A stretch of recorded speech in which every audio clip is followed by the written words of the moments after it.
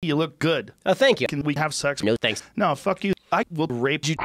You worried? No, it's Yes. true. It's 100% true. I made this point online. I got shellacked for it, but rap isn't good or clean or decent. The NBA young man, Very- whatever, sucks. not good. Take the olds and send them back into the nursing homes with COVID. Based. I believe that you're inferior or you're superior based on your race. End of story. I am beating the fuck out of my dick. You just don't. you just don't. That, that guy lived in hell. I guarantee you. I bet his life was mostly annoying. But every now and then, while he's having sex with those twelve year olds, he's probably like, I can't even believe this is real.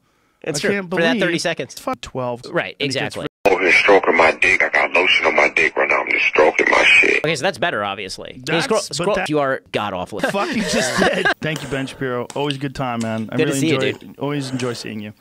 All right, that's it. Bye everybody. That was great. awesome. Thank you.